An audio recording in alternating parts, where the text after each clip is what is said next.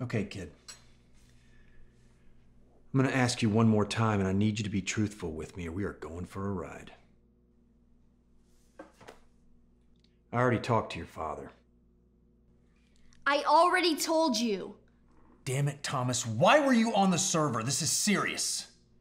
Look, let me show you. For the tenth time, it's a malware issue. From what I can tell, it it can pretty much override any digital video source. You know, not just actual video content like Vimeo or YouTube. It goes way beyond that. Okay, I get it, but I have yet to hear what the urgency is that would require you to hack into a government server in order to save all our asses, as you so eloquently put it. Think about it. Phones, laptops, PCs, kinetic gaming consoles. Do you know how many gamers there are? Over 2 billion. With a B.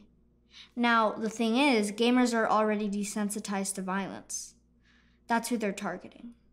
Of course, there's a margin for error, but if even 0.1% of the intended targets are affected,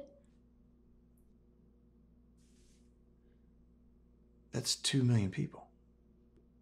that's a lot of suicide bombers.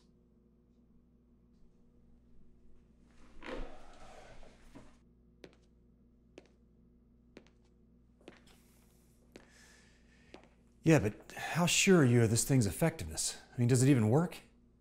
Let me show you. Watch.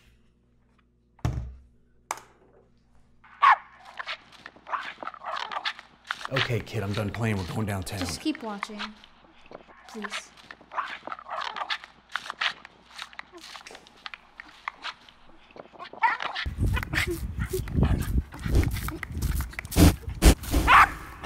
Also, I thought you liked to call me Matt.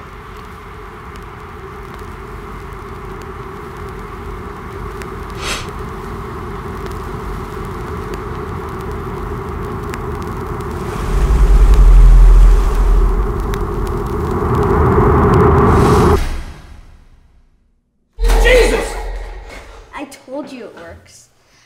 Here, took the liberty of running this up. It's a little virus I like to call Mainline. It'll download through all chat rooms and gaming sites, effectively knocking out all built in video and kinetic units for 72 hours. That should give you enough time to track it, unless I'm wrong about the whole video thing, in which case we're screwed.